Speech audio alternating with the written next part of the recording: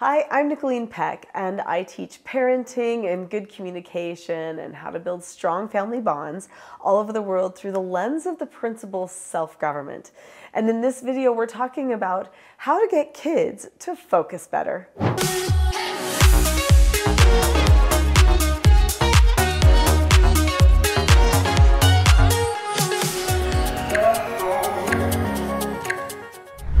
Know that lack of focus in children is a common problem. There are certain ages that are more apt to have focus issues than others, but there are also certain personalities and tendencies that might also lead into not being able to focus well. In this video, we're going to be talking about that non focus problem and what teaching self government skills and principles you can use to help with focus. So, lack of focus, what can that look like? I mean, at different ages, it can look like different things. And there are some ages where children will have a hard time focusing. When children hit about ages seven and eight, they get distracted very, very easily and have a hard time focusing in. When it used to seem like, oh, they could sit and read their little book forever or, you know, build with their blocks or something and they could keep themselves totally self entertained and now all of a sudden they can't. Well, some of that is just developmental that happens. So sometimes we have to wait a little bit of it out, but there are some things that we can do. What about children who are a little older and are struggling with focus issues? Well, did you know that puberty also can create an attention problem or a lack of focus problem? Well, it can. There's a ton of changes that are happening in the body, and just sometimes all of those hormonal changes and feelings that a person goes through helps to throw them off course and decrease their ability to focus as well. But then there are other things, such as when a person maybe easily gets distracted because of how they're wired. Maybe somebody you know, is a little neurodiverse and maybe they have ADHD or something like that. And they can focus in on some things really like hyper focus in, but then they can't see anything else around them. Or they have a hard time focusing in on anything and they're getting very distracted. All of those things can definitely be things that you might be facing. I know they are frustrating, but it is super important. Rule number one when it comes to helping a person achieve focus is be patient. Don't expect that you can control their focus. That's going to lead to a power struggle and it will create a problem for you and for your child. So when you're helping someone develop focus, you actually want to be as proactive or preventative as possible instead of trying to focus everything on the reactive side. So, what do I mean by proactive or preventative? Well, that means that you want to pre teach the person ahead of time what is possible and what they should do to maintain their focus in certain circumstances and how you will help them get back on track. So, what I'm talking about is some of the building blocks for self government. So, in this book, Parenting a House United, I talk about pre teaching many things. So, long view things as well as short view things. So, pre teaching, there's three different types of pre teaching there's instructive pre teaching, situational pre teaching, and then prepping that happens right in the minute really fast. All those types of pre teaching can help a person prepare to focus in the minute. In fact, pre teaching is definitely the number one thing that you would want to teach a person that you are going to do to help them focus in. This will also help them be more receptive to any of the pre teaching moments when they occur. But not only pre teaching is useful, sometimes corrections and other feedback can help a person also maintain their focus. If you've already subscribed to this channel, then you know that in the teaching self government method of parenting, that we focus heavily on this concept of vision and that the family prepares ahead of time for what type of family they want to create, what type of relationships they want to have, how they want them to feel. And there's a way to go about doing that where everyone can get buy in. So, that family vision is really helpful at maintaining focus in the moment for a person. If you have this gold standard, this bar that you're working toward as a group, then you can see yourself heading toward it every single day because you're never perfect yet. You don't quite all the way get there all the time. And so you have this evaluation standard or this point where you are aiming toward each day. That helps a person stay focused too. Also, having meetings. So, I talk about having family meetings, couples meetings, individual mentor meetings, parent counseling sessions, which are another type of a meeting. Those types of meetings are also geared toward helping a person maintain focus in the future. So, you focus in for a moment on the meeting and then focus for the future. Now, I hear somebody saying, Yeah, but there's no way that my child is going to maintain focus for a meeting. Well, you might be surprised. If you tell the child this meeting is only going to take 20 minutes, we are going to time it because that's how long a good family meeting should take is 20 minutes or less. And if it takes any more, then you stop the meeting. You just don't go over the 20 minute mark because you told everyone it would take 20 minutes. So if you stick to time limits on things, that helps people learn to focus. Lots of times, children who have parents who are constantly saying, when we get it done, when we get this done, when we get this done, and then there's always more details that keep getting added to it. Finally, they, they just check out because they feel like this is never going to be over. And they just want to know when the end is going to be so they can know how long to extend their focus time. They absolutely can maintain focus during meetings and other planning sessions if they know that that planning session has an end time. Another thing that you can do is you can practice focusing for small segments of time where you say to your child, let's do a challenge and see if we can sit still and just look at our book for one whole minute without moving. Then you can practice, practice for two minutes, and then you can practice for five minutes. You can see if you can extend that attention span time. Those are things that are very effective when children are young. In fact, even older children can benefit from them, although sometimes they might think that they're just a little bit babyish. But truthfully, is it babyish if you really can't sit still and focus for longer than one minute? Maybe not. Maybe it's a skill that even adults could work on. So, what types of things could we teach ahead of time related to self government that could help a person maintain their focus and attention span longer? In the Teaching Self Government Parenting program, in the course that I have, there are four basic skills for success. These children's books each teach one of those four basic skills, which are following instructions, accepting no answers and criticism, accepting consequences, and disagreeing appropriately.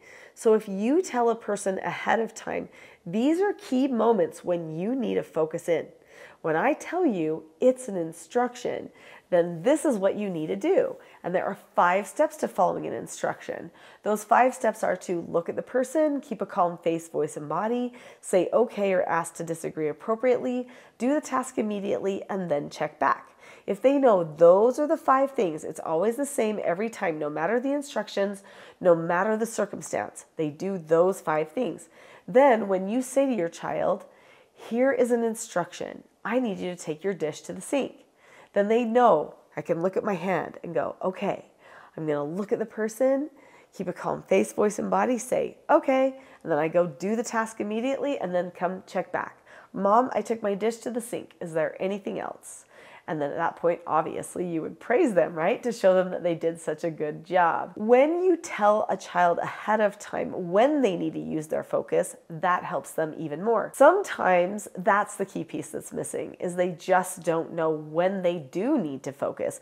People might always be complaining about the fact that they don't focus in or talk to them about their focus, but they don't explain that there are key moments when focus is more helpful. So, following instructions, accepting no answers, and criticism, accepting consequences, and then disagreeing appropriately, especially on disagreeing appropriately, because you have to seek to understand the other person's point of view in that skill. Now, all of those four basic skills have steps associated with them that can help the child focus in. All those four basic skills start with the same step. Every one of the four basic skills starts with look at the person. That right there is a deliberate focus thing. So if I look at the person or the situation, that means I'm focusing in. I am telling myself I am ready.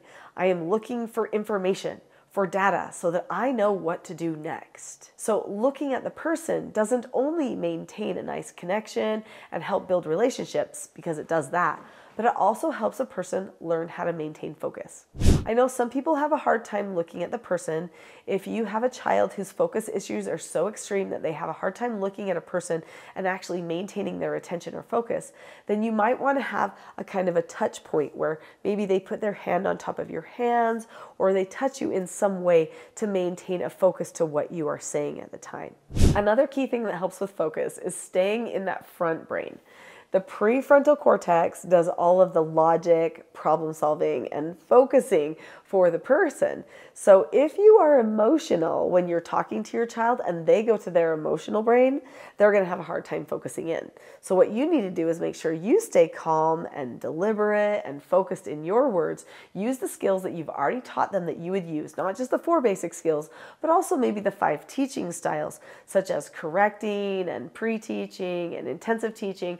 All of those teaching styles are going to be skills that your children already know. And when you say, hey, I'm going to use this skill right now, then they can focus in on what you're doing as well. And that hopefully helps them become less emotional in a circumstance where they might want to give in to some of those emotional impulses.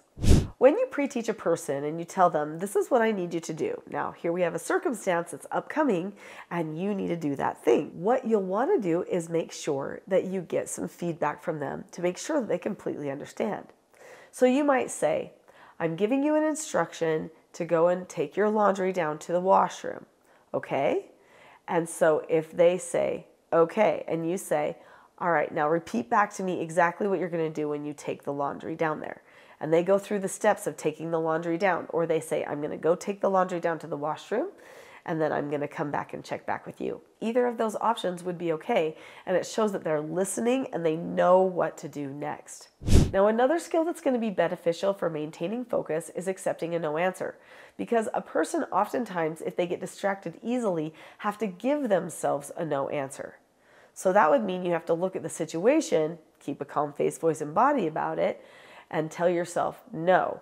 You can't do that thing and then tell yourself, okay, I'm telling myself okay to my own no answer, that I'm dropping the subject about it. I'm not thinking about that distraction that is coming up. You might even have to pre teach telling yourself anything else that comes along is a no.